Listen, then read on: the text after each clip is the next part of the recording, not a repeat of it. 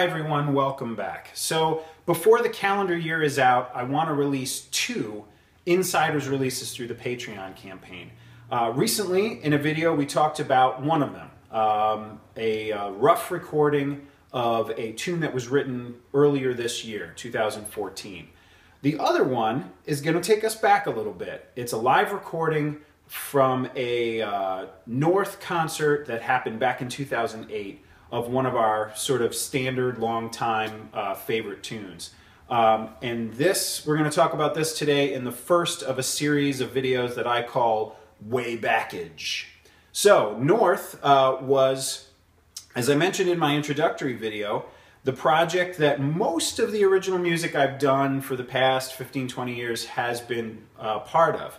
And um, it started way back in 1995, and uh, that actually would make a good story for another video sometime. Um, but over the many, many years, it involved lots of friends and collaborators and some really good times, and some of those stories might make good videos too. Um, but the culmination of all of North's activity was the release of our first full-length album called Drowning in Sky, which happened on the 23rd of September 2008.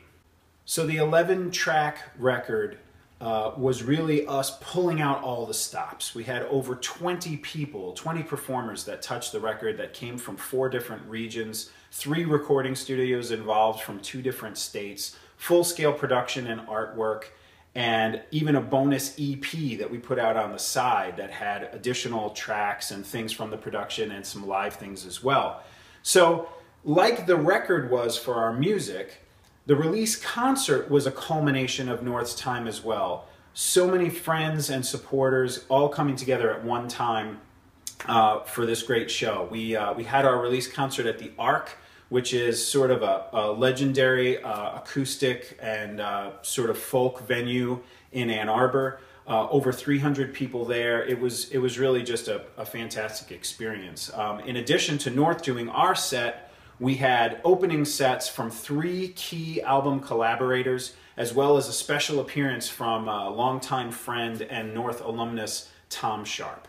So, given the significance of this event for us, um, we decided to record the event as best we could in both multi track audio and multi camera video. And this recording is where the story of our Insiders release begins.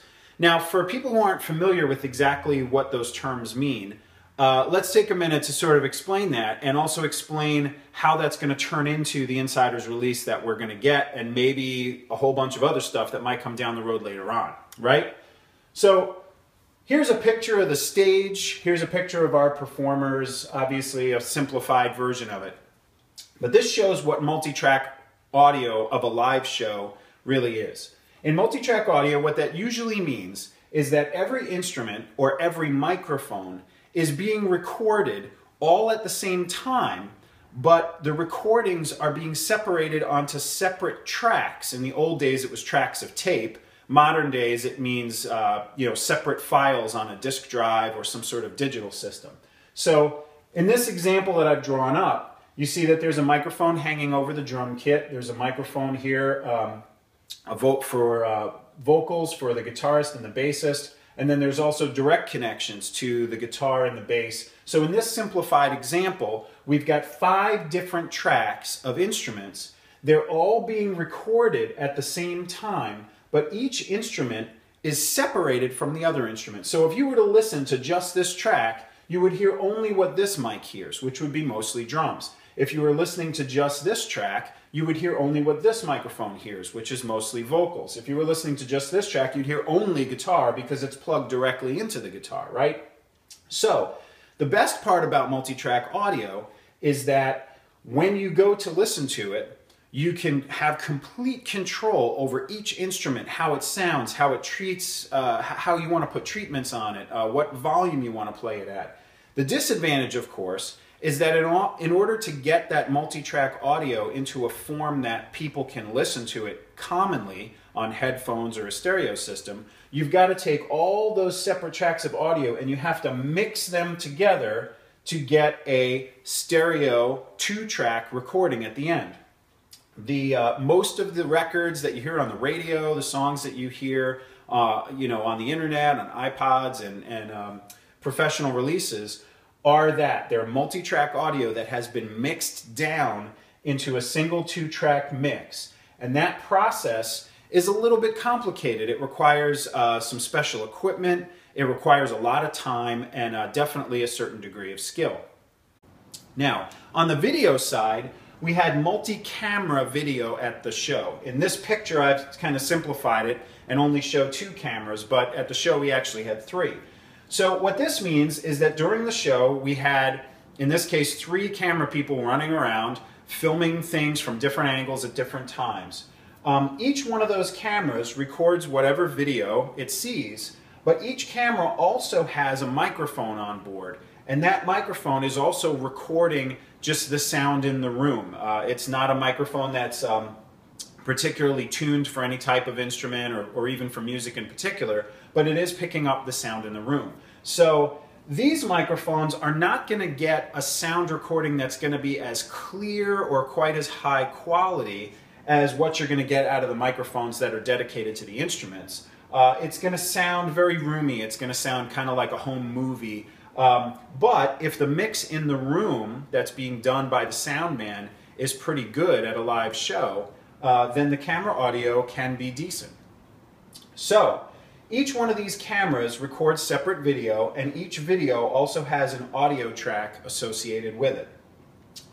What can then be done is you can then take this video down into editing, and in the editing, you can switch back and forth between the video from those, in this case, in this example, two cameras, and switch back and forth and show different angles and get something that's very similar to what you might see in television or a movie. Now, in the ideal case, the downside to the multi-camera video side is that you have to get the sound from somewhere else because this camera sound may not be particularly good. So in the ideal case, you not only have to do all the time and work that it takes to edit the video, but you also have to mix the audio, whatever audio you have, and put that into the video production to get a final music video. So what's really nice about the audio and video situation that we had at the concert um, is that we have all the pieces we need to make some really cool videos of the show. Um, we can take this multi-camera video that we have, cut it together into these cool kind of you know, pseudo-professional looking uh, tracks of, um, you know, using the different cameras and stuff going on on stage. And then we can lay this nicely mixed multi-track audio for a nice high quality uh, music track to go with it. So the downside to this, as I mentioned, is that this process is time consuming and, and expensive. It's gonna be it's gonna be slow and it's gonna take some funds. So what I'm hoping to do is use some of the Patreon funds that come in down the road to pick songs to produce this way. And the whole process of you earning votes through the Patreon campaign or bonus votes by uh, you know subscribing to the YouTube channel and things like that is uh, to help me pick which songs as we go might uh, might get some of those funds down the road. So these fully produced videos with the mixed multi-track audio might make some great releases when we get some funds for down the road.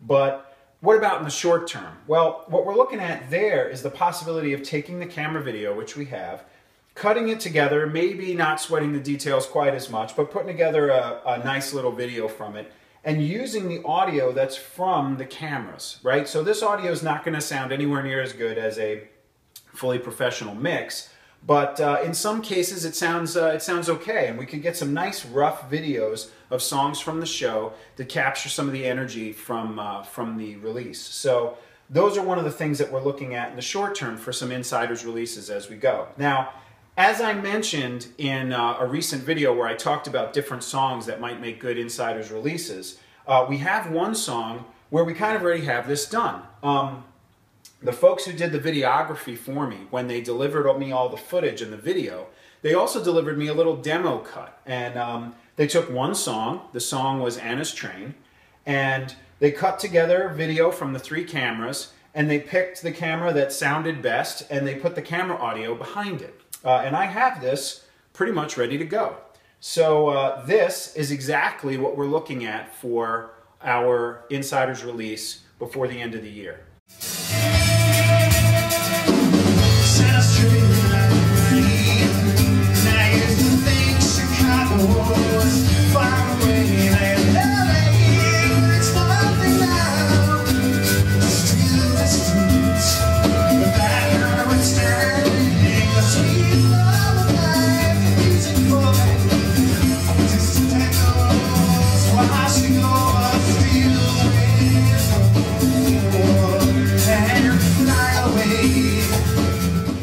So, if you'd like to hear this live cut, uh, it is going to be one of our first two Insiders releases. You can look for them both this month and next on Patreon. Thanks again for listening and see you next week. Wait! I have to remind you of two very important things. The first thing is please claim your votes.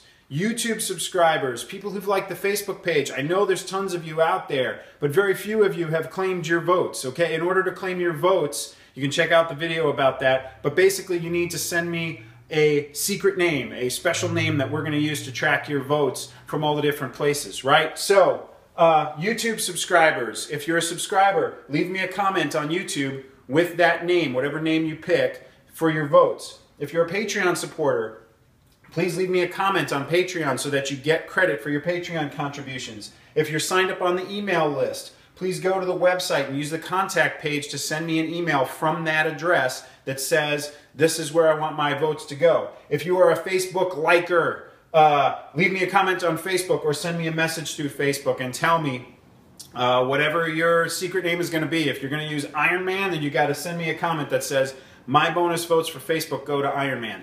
This is so important, I think, that uh, I'm trying to push people to do it. If uh, if you get me in, uh, your secret name before the end of November, uh, we'll go with five bonus votes instead of two for each of these things. That means that you can get 15 bonus votes for YouTube, Facebook, and being on the email list without spending a single dime on Patreon, which I'm fine with if that's your thing. So, second thing to remember, please ask me questions, send me comments. Um, is there a particular North song that you've always wanted to know where it came from? Uh, is there a particular gig or show that you were at in the past that you have cool memories about that you'd like to share? Um, is there something about the artistic process or a key influence or a band that I've loved that you'd like to know more about? Uh, North fans or new friends, send me those things. I'm always looking for new ideas uh, for these weekly videos. So those are the two important things. So I uh, appreciate you letting me tell you about that. Okay cut to the end bit.